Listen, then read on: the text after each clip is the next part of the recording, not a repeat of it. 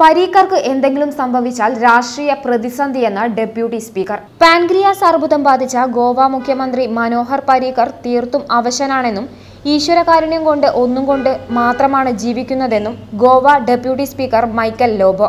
പരീക്കർക്ക് എന്തെങ്കിലും സംഭവിക്കുകയോ അല്ലെങ്കിൽ അദ്ദേഹം സ്ഥാനം ഒഴിയുകയോ ചെയ്താൽ ഗോവ രാഷ്ട്രീയ പ്രതിസന്ധിയിൽ അകപ്പെടുമെന്നും അദ്ദേഹം പറഞ്ഞു.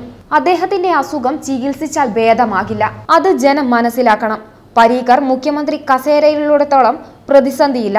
പക്ഷേ അദ്ദേഹത്തിന് എന്തെങ്കിലും സംഭവിച്ചാൽ പ്രതിസന്ധി ഉണ്ടാകും അദ്ദേഹം ഇപ്പോഴും ജീവിച്ചിരിക്കുന്നതും കർത്തവ്യം നിർവഹിക്കുന്നതും ഈശ്വര കാരുണ്യം ഒന്നു മാത്രമാണെന്നും ലോബോ പറഞ്ഞു. ഇന്ത്യയിലും വിദേശത്തുമായി ചികിത്സയ്ക്ക് ശേഷം ഗോവയിൽ ബജറ്റ് സമ്മേളനത്തിൽ പങ്കെടുത്തിരുന്നു. ആരോഗ്യനില മോശമായതിനാൽ ഡൽഹിയിലെ എയിംസിൽ പ്രവേശിപ്പിച്ചു. മുതിർന്ന ബി നേതാവ് എൽ കെ അദ്വാനി കോൺഗ്രസ് അധ്യക്ഷൻ രാഹുൽ ഗാന്ധി കരസേന മേധാവി ബിപിൻ റാവത്ത് എന്നിവർ പരീക്കറെ സന്ദർശിച്ചിരുന്നു. അന്വേഷണം ഡോട്ട് കോമിന് വേണ്ടി അനുശ്രീ.